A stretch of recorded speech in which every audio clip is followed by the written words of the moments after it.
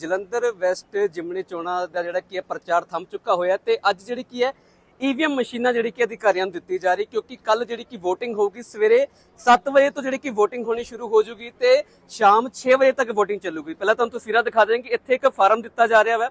ਉਹ ਫਾਰਮ ਭਰਨ ਤੋਂ ਬਾਅਦ ਜਿਹੜੇ ਕਿ ਮਸ਼ੀਨਾਂ ਮਿਲਦੀ ਪਈ, ਤਸਵੀਰ ਦੇਖ ਸਕਦੇ ਕਿ ਉਸ ਤੋਂ ਬਾਅਦ ਈਵੀਐਮ ਮਸ਼ੀਨ ਜਿਹੜੀ ਕਿ ਹੈ, ਉਹ ਜਿਹੜੇ ਕਿ ਅਧਿਕਾਰੀ ਨੂੰ ਪਕੜਾਈ ਜਾ ਰਹੀ ਹੈ ਤੇ ਉਹਨਾਂ ਨਾਲ ਜਿਹੜੇ ਕਿ ਤਿੰਨ ਤੋਂ ਚਾਰ ਸਾਥੀ ਵੀ ਨਾਲ ਮੌਜੂਦ ਰਹੋਗੇ, ਕਿਉਂਕਿ ਕੁੱਲ 181 ਬੂਥ ਬਣੇ ਆ ਤੇ 170000 ਤੋਂ ਜਿਹੜੀ ਕਿ ਜ਼ਿਆਦਾ ਵੋਟ ਹੈਗੀ ਹੈ ਤੇ 181 ਜਿਹੜੇ ਕਿ ਟੋਟਲ ਬੂਥ ਬਣੇ ਹੋਏ ਆ ਤੇ ਸਵੇਰੇ 7 ਵਜੇ ਤੋਂ ਜਿਹੜੀ ਕਿ VOTING ਪੈਣੀ ਸ਼ੁਰੂ ਹੋ ਜਾਏ ਕਿਉਂਕਿ ਗਰਮੀ ਦਾ ਵੇਲਾ ਹੈਗਾ ਤੇ ਲੋਕ ਕੋਸ਼ਿਸ਼ ਕਰਦੇ ਆ ਕਿ ਸਵੇਰੇ ਜਾ ਕੇ ਵੋਟ ਜਿਹੜੀ ਕਿ ਪਾਇਣ ਕਿਉਂਕਿ ਪਿਛਲੀ ਵਾਰੀ ਲੋਕ ਸਭਾ 'ਚ 70% ਦਾ ਟੀਚਾ ਰੱਖਿਆ ਸੀਗਾ, ਲੇਕਿਨ 60% ਤੋਂ ਥੱਲੇ ਜਿਹੜੀ ਕਿ ਵੋਟ ਕਾਸਟ ਹੋਈ ਸੀਗੀ, ਤੇ ਇਸ ਵਾਰੀ ਵੀ ਉਮੀਦ ਕੀਤੀ ਜਾ ਰਹੀ ਕਿ ਜ਼ਿਆਦਾ ਤੋਂ ਜ਼ਿਆਦਾ ਵੋਟ ਕਾਸਟ ਹੋਵੇ। ਇਸ ਲਈ ਜਿਹੜੇ ਵੋਟਰ ਹੈ, ਉਹਨਾਂ ਨੂੰ ਰੁਝਾਨ ਲਈ ਵੱਖ-ਵੱਖ ਚੀਜ਼ਾਂ ਕਹੀਆਂ ਗਈਆਂ ਨੇ, ਵੱਖ-ਵੱਖ ਗੱਲਾਂ ਆਖੀਆਂ ਗਈਆਂ ਨੇ। ਤਸਵੀਰਾਂ ਤੁਹਾਨੂੰ ਦਿਖਾ ਰਹੇ ਹਾਂ ਕਿ ਲਗਾਤਾਰ ਜਿਹੜੇ ਕਿ ਇੱਥੇ ਅਧਿਕਾਰੀ ਪਹੁੰਚਦੇ ਪਏ ਨੇ ਤੇ ਈਵੀਐਮ ਮਸ਼ੀਨਾਂ ਆਪਣੀ ਕਲੈਕਟ ਕਰਕੇ ਜਿਹੜੇ ਕਿ ਇੱਥੋਂ ਜਾਣਗੇ ਤੇ ਉਸ ਤੋਂ ਬਾਅਦ ਇੱਕ ਸੇਫ ਜਗ੍ਹਾ ਤੇ ਜਾਣਗੇ। ਇਸ ਵਕਤ ਅਸੀਂ ਇਹ ਜਲੰਧਰ ਦੇ ਖਾਲਸਾ ਕਾਲਜ ਦੇ ਅੰਦਰ ਮੌਜੂਦ ਹੈ, ਜਿੱਥੇ ਕਿ ਇਹ ਰੂਮ ਬਣਿਆ ਹੋਇਆ ਸਟਰੋਂਗ ਰੂਮ ਬਣਿਆ ਹੋਇਆ ਇੱਥੋਂ ਦੀ ਜਿਹੜੇ ਕਿ ਹੁਣ ਇਹ ਮਸ਼ੀਨਾਂ ਮਿਲਣੀ ਸ਼ੁਰੂ ਹੋ ਚੁੱਕੀ ਹੈ ਤੇ ਕਹਿ ਸਕਦੇ ਲਗਭਗ 3-4 ਘੰਟਿਆਂ ਤੱਕ ਜਿਹੜੇ ਸਾਰੇ ਲੋਕ ਹੈ,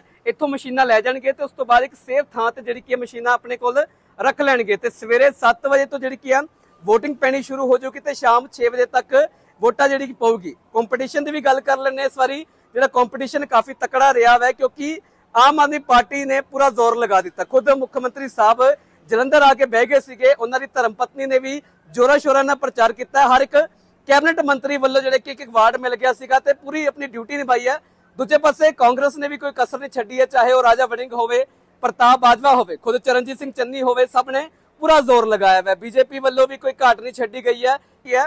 ਪਹਿਲਾ ਕੁਰਸੀ ਛੱਡੀ ਗਈ ਹੈ, ਜਿਸ ਕਰਕੇ ਜਿਮਣੀ ਚੋਣਾਂ ਹੋ ਰਹੀ ਤੇ ਉਹਨਾਂ ਵੱਲੋਂ ਵੀ ਪੂਰੀ ਤਰ੍ਹਾਂ ਤੋਂ ਜਿਹੜਾ ਕੀ ਹੈ, ਜ਼ੋਰ ਲਗਾਇਆ ਗਿਆ ਤੇ ਅਕਾਲੀ ਦਲ ਵਿੱਚ ਤੇ ਦੋ ਫਾੜ ਹੋ ਗਏ ਤੇ ਇੱਕ ਦੂਜੇ ਤੇ ਹੀ ਬਿਆਨਬਾਜ਼ੀ ਜਿਹੜਾ ਕਿ ਕਰਦੇ ਹੋਏ ਨਜ਼ਰ ਆਏ ਤੇ ਬੀਐਸਪੀ ਜਿਹਨੂੰ ਅਕਾਲੀ ਦਲ ਦਾ ਸਮਰਥਨ ਮਿਲਿਆ ਤੇ ਵੱਡੇ ਕੋਈ ਲੀਡਰ ਜਿਹੜੇ ਕਿ ਨਜ਼ਰ ਨਹੀਂ ਆਏ ਜੋ ਕਿ ਜਿਨ੍ਹਾਂ ਨੇ ਬੀਐਸਪੀ ਵੱਲੋਂ ਪ੍ਰਚਾਰ ਕੀਤਾ ਹੋਵੇ ਤੇ ਹੁਣ ਵੇਖਣ ਵਾਲੀ ਗੱਲ ਹੋਊਗੀ ਕਿ ਬਾਜੀ ਕੌਣ ਮਾਰੂਗਾ 13 ਤਰੀਕ ਨੂੰ ਨਤੀਜੇ ਕਿਸ ਦੇ ਹੱਕ ਵਿੱਚ ਆਉਗੇ? ਅੱਜ ਟੋਟਲ 181 ਬੂਥ ਹੈ ਇਹ ਜ- ਅ, 034 ਜਲੰਧਰ ਵੈਸਟ ਵਿੱਚ। ਇਹਦੇ ਵਿੱਚ ਅਸੀਂ ਸਾਰੀਆਂ ਪੋਲਿੰਗ ਪਾਰਟੀ ਨੂੰ ਅੱਜ ਡਿਸਪੈਚ ਕਰ ਰਹੇ ਹਾਂ।